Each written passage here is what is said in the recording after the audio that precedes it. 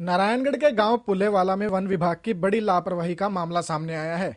वहीं मामले में उपायुक्त की सतर्कता ने सरकार को लगभग एक करोड़ रुपए का चूना लगने से बचा लिया। बता दें कि नारायणगढ़ के इस गाँव में वन विभाग ने कटाई के बाद बेचने के लिए पेड़ों की कीमत की असेसमेंट की थी, जिसमें पेड़ों की कीमत लगभग 19 लाख रुपए बताई गई थी। लेकिन जब इस मामले की जानकारी अंबाला के उपायुक्त को मिली तो उन्होंने तुरंत एसडीएम की अध्यक्षता में एक कमेटी गठित की और पेड़ों की नीलामी करवाई। जिसमें ये पेड़ एक करोड़ ग्यारह लाख रुपए में बेचे गए। जिससे स्पष्ट होता है कि उपायुक्त की सतर्कता के चलते सरकार को लगभग एक करोड़ रुपए की चपत लगने से बच गई। जानकारी देते हुए उपायुक्त ने बताया कि इस मामले के बाद उन्होंने ये आदेश जारी कर दिए हैं कि ज़िले में अगर कहीं भी पेड़ों की नीलामी होगी तो वो सीनियर अधिकारी की निगरानी में ही होगी। इसमें हमारी पंचायत के ज़मीन पे पेड़ थे, जिसकी वो कटवाने की परमिशन ले रहे थे। उसके अंदर वैल्यू फॉरेस्ट डिपार्टमेंट ने 19 लाख के आसपास असेस की हुई थी और मैंने एसडीएम की अध्यक्षता में कमेटी बना करके और उसकी ऑप्शन कराई तो एक करोड़ ग्यारह लाख रुपए में वो नीलामी हुई है। तो इसमें हमने डीएफओ को लिखा है कि कहीं कोई अंडर असेसमेंट हुई थी या ठीक असेसमेंट हुई थी ऐसा चेक करेंगे और घोटाला टाइप की ऐसी कोई बात नहीं है इसके अंदर।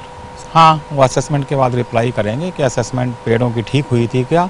और इसमें हमने ये एपिसोड होने के बाद हमने एक नियम ही बना दिया है कि जहाँ पे भी ऑक्शन होगी, वो सीनियर अधिकारी की अध्यक्षता में ही ऑक्शन होगी, ताकि एग्जैक्ट कीमत उन पेड़ों की हमारे को मिल सके। मामला वन विभाग से जुड़ा था तो हमने जिला फॉरेस्ट ऑफिसर से भी बातचीत की।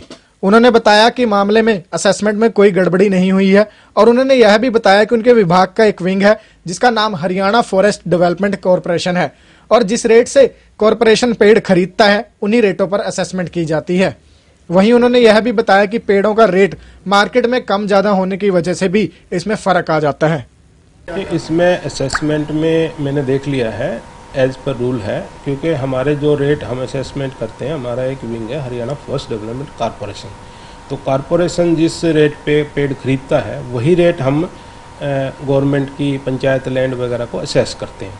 असेस करने के बाद वो एक रिज़र्व प्राइस है। उससे नीचे आप नहीं सेल कर सकते। उससे ऊपर तो कहीं भी आप सेल कर सकते हो। इसमें क्या होता है प्राइस का? जैसे इसमें मैंने देखा, ज़्यादातर सफ़ेदे के बड़े पेड़ हैं।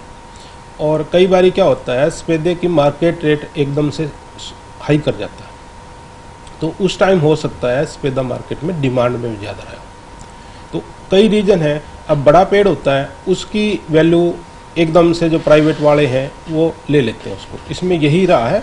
बाकी एज पर रूल ठीक है ये। हाँ उसमें ये है कि रूल है, जैसे पंचायत डिपार्टमेंट में होती है।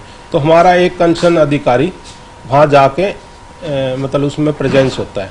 कई बार हमारे को वो इंटीमेट नहीं भी करते। तो हो जाता है। अगर वो इंटीमेट हो तो हम एक अधिकारी की डेप्यूट करते हैं। उसकी प्रेजेंस में ही ऑप्शन होती है।